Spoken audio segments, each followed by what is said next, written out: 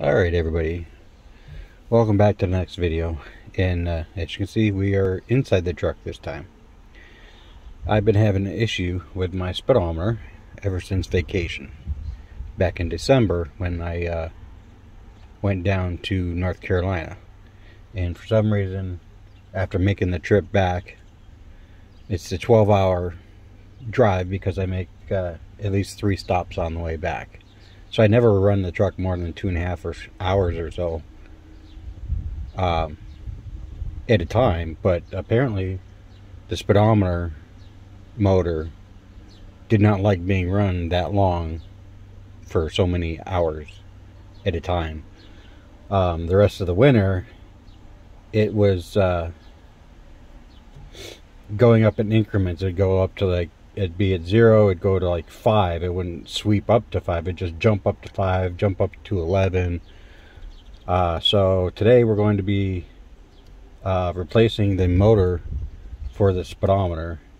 And I know I tore, showed you guys a little bit of how to take the bezel off to get to the instrument cluster last year when I showed you how to switch to the Cadillac Escalade gauge cluster. But um,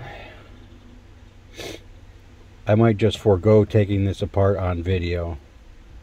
Um, because there's already a video out there showing you what to do because all you have is your electrical connections for your switches here my 4x4 airbag cargo light and my train horns and over on the other side the light switch which is the one I showed you the last one I showed you to unplug to remove the bezel so I'm going to pause it real quick and take all that apart to get to the actual gauge cluster. And uh, then we'll probably move to the tailgate where I set up my workbench like normal. So give me a few minutes to get this apart and I'll be right back. Okay, so here we are. Now, I did plug all my switches back in. The only reason I did that is because with my bigger tires, um, I deal with a calibration issue. And uh, I've had uh, I used my scan tool to adjust the tire size for these bigger tires. And then I adjusted the physical needle itself so when you turn ignition on it doesn't stay at zero. It goes up to like one. So my goal is to get it back to that position. But uh, what I do is I go on the highway with my GPS which is in my phone so I can't make videos of that. And I go I set Uh, when the GPS says 70, I set the cruise and I watch the needle. And when the needle is close, if it's a little under or a little above 70, then I'll pull over and I'll pop the needle off.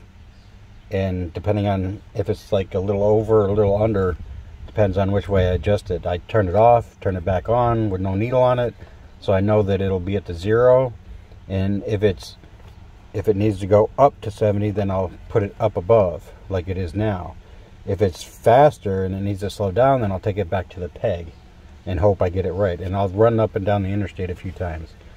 And uh, as in the other videos, you have one, two, three, four, seven millimeter bolts to remove. Um, I've already taken them out. Like I said, I just uh, I want to get the get to the motor replacement because I've already pulled my dash apart and made videos on that.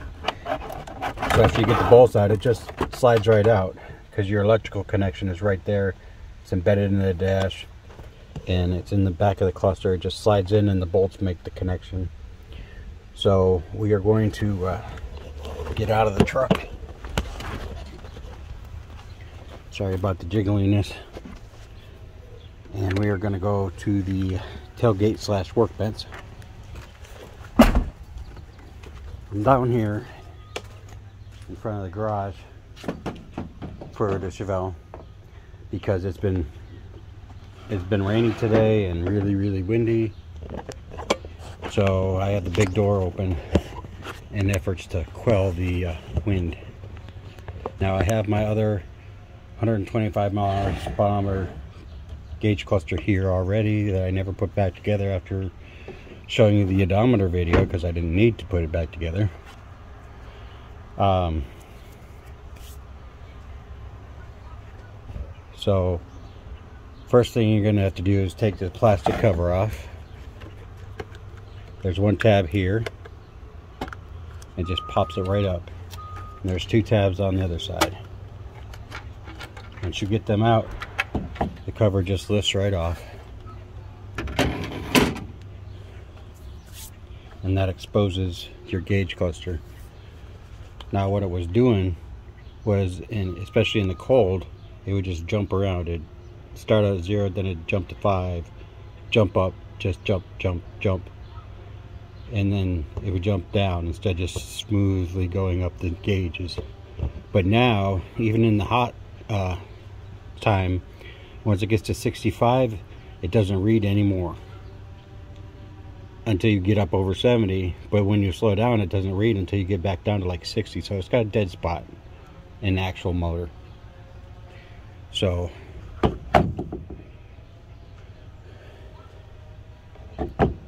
I'm going to uh, take the uh, new old speedometer out of here and pop the needle off. It just pops off. And the back side is where it, the uh, connection is. And there's two small Torx bits holding the motor in. And you got to remember your orientation. There's a number here on this side down here it says S S13 S is for speedometer I think but it's uh, the Torx size is T8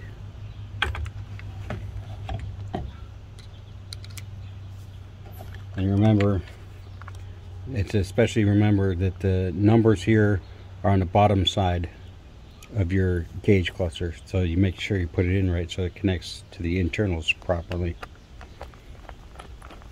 You just take the little screws out. Try not to lose them. There's one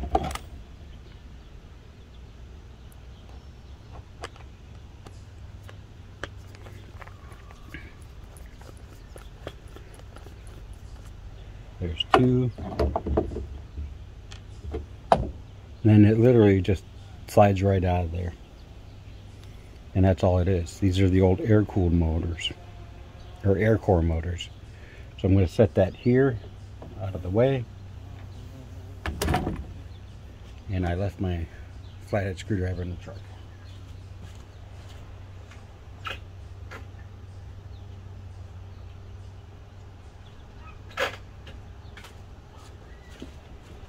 and you guys uh, if you watch the other videos of taking this out you know what I do is just take a flathead screwdriver a little small one and slowly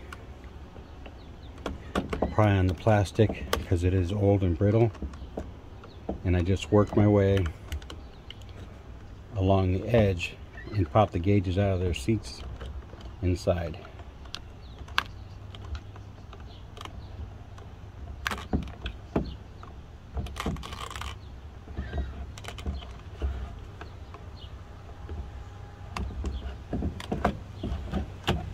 and that's it.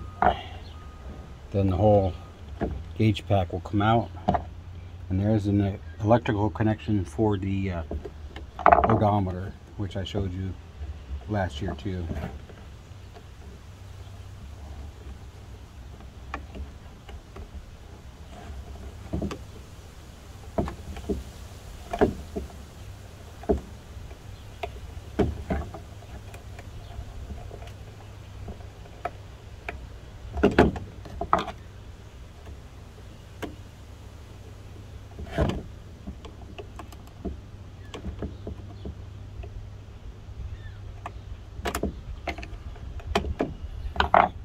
Pull that out. And your face totally comes off.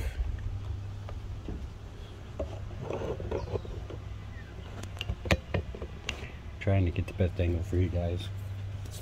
And just like the other one you just pull the needle off. Just like that. I love these brand new needles I put on last year. They're so much easier to read. It's the same with the other one. Flip it over. And you take your two little 8 T8 Torx screws out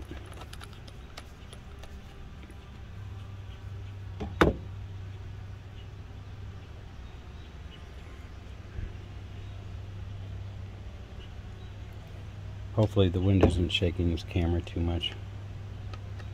I tried to buffer with the big door being open, but I don't know if it'll work, if it's working or not. So, after taking your second screw out, you just pull the motor out, just like that. But I don't know if you can see the numbers, if it'll focus on them. So then you take your replacement motor, whether you buy one on eBay or whatever, and you put it right back in the same way it came out.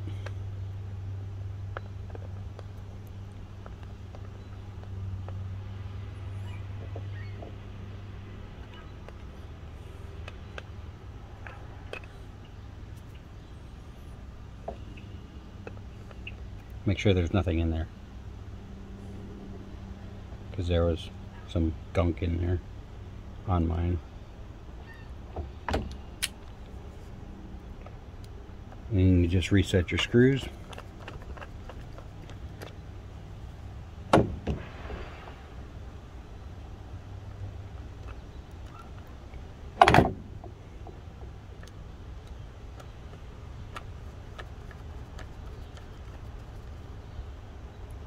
You don't got to torque them too much. It's only plastic. Have to remind myself that. So then the replacement speedometer motor's in.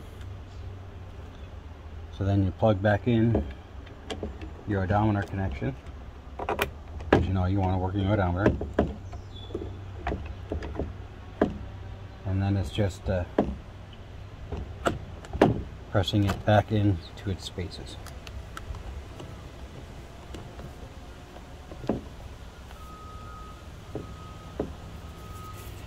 And that's it for the speedometer installation. I'm going to pause it again so we can get back in the truck. And uh, I can put it back together and I can give you a, kind of a little demonstration of uh, what we're dealing with. Because I'm not going to be able to put the dashboard back together until after I do the calibration on the highway. But I'll I'll get a little bit more on that because I will put the needle on approximately where it was. So just give me a second and we'll be back okay we're back now, I did not put the clear cover on either, because that will just slide in to the two holes in the one hole over here. But you can see better the bolts here, here, and here, and down here. So those are the four bolts that hold this in. And like I said, once you slide it in, the connection's made. So, uh, but I can't put the face on until after I put the, uh, get the speedometer calibrated. So what I do is I'll turn the ignition on. That way I know the motor goes up to the zero. And I had it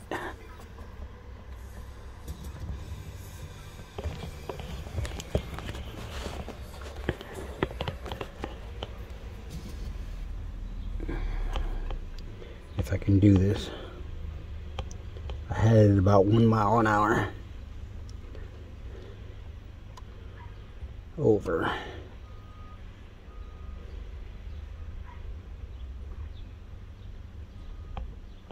I didn't push it down all the way. we turned it off. Nope, it's not there.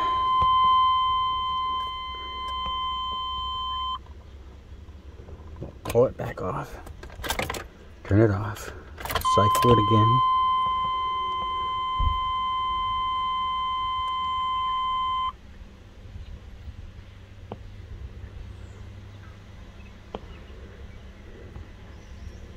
This is the front part here.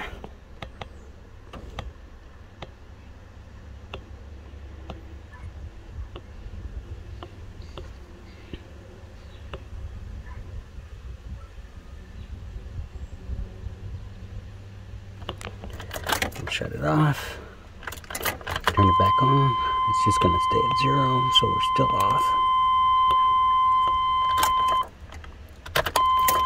Cycle it again this is what takes a lot of the time when you're doing this if you're unfamiliar with it.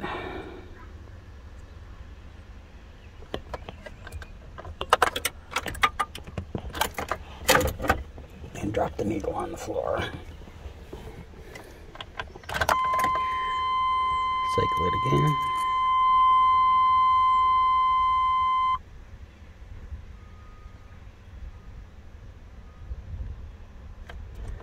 Okay, shut it off.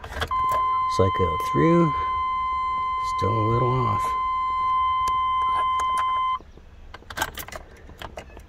Cycle it through.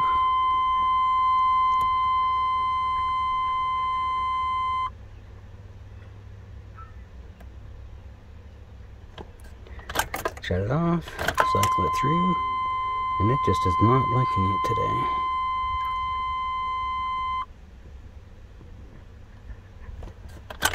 Shut it off, cycle it through. It's not doing it today. Which means I'm probably going to have a lot of fun doing it out on the highway too.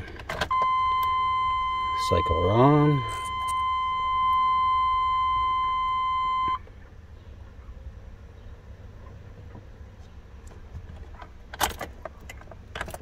Cycle it on. Oh, that's close.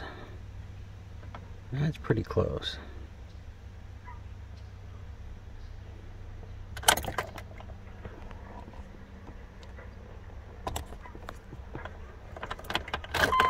Cycle it on.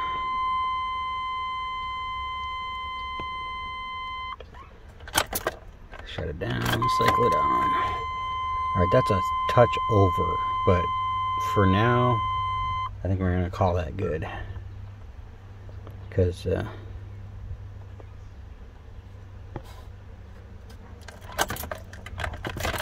once I get on a highway, I'll be able to tell more uh, how much more adjustment I need. So, uh, we're to call this video done for today. And, uh, I've got dirt spots on my nice white gauge because my knuckles are not exactly clean. So after I get this set, I'm going to have to clean and wipe this whole faceplate up again before I put the glass on it. But uh, anyways, that's how that this works for any of the gauges. I just happen to need a speedometer gauge. So uh, if y'all need to know how to replace a speedometer gauge or any of the other gauges, it's that little tiny T8 Torx screw head. And uh, the time and patience to play with the needles. If you watch my gauge cluster replacement, you'll see how I set the needles when I put this uh, face cover on. Because uh, there's a certain way to do the voltage in the fuel. But if you're just doing oil or temperature or speedometer or tachometer, they, as soon as you turn the key, they go to zero. Well, oil pressure is being kind of stupid, but it always is.